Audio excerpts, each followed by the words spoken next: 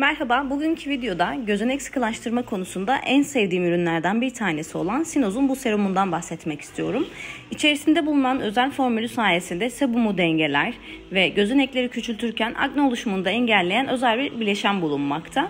Çok severek kullandığım ürünlerden birisi fiyatı diğer muadillere göre çok ama çok uygun. İçeriği de gerçekten oldukça temiz.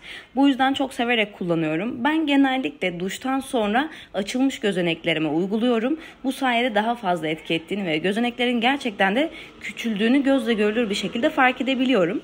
Ee, bu videoyu daha önce kullanmış ve deneyim sahibi olmuş kişilerin kullanıcı yorumlarıyla da desteklemek istiyorum. Hem olumlu hem olumsuz yorumlara yer vereceğim. Çünkü e, daha objektif olduğuna inanıyorum. Ee, şöyle ki bir kullanıcı şöyle söylemiş. Gerçekten de çok severek kullandığım, bittikçe de stok yaptığım ürünlerden bir tanesi. Özellikle indirim döneminde gerçekten stok yapmak çok mantıklı bir hareket oluyor demiş. Bir başka kullanıcı maalesef kargoda paketim açılmış ve bir tanesi patlamıştı. Hemen yazdım gerçekten ilgilendiler ve yeniden bana gönderim sağladılar demiş. Bir başka kullanıcı gerçekten yağların dengelenmesinde çok başarılı bir ürün. Sebum dengesi konusunda mükemmel diyebilirim fakat gözenek küçültme etkisini ben henüz gözlemleyemedim demiş.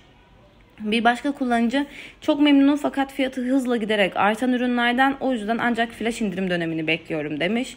Bir başka kullanıcı başarılı olan ürünlerden bir tanesi beraberinde kullandığım diğer serumlarla birlikte gerçekten cildim üzerindeki etkisini gözle görülür bir şekilde belli ediyor. İş yerindeki arkadaşlarım geçen günlerde sordular cildin ne kadar aydınlık, ne kadar güzel görünüyor diye. Bu bile gerçekten bu ürünün başarılı olduğunu, başarılı olduğuna inanmamı sağlıyor demiş. Siz ne düşünüyorsunuz? Sinoz'un bu ürünün ürününü daha önce kullandınız mı? Kullandıysanız kendi yorumlarınızı, deneyimlerinizi benimle paylaşmayı lütfen unutmayın. Tekrar görüşünceye kadar kendinize çok ama çok iyi bakın. Hoşçakalın.